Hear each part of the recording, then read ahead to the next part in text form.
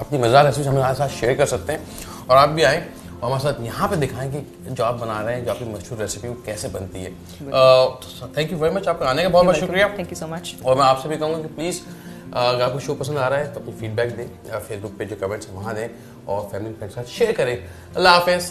अल्लाह हाफिज़।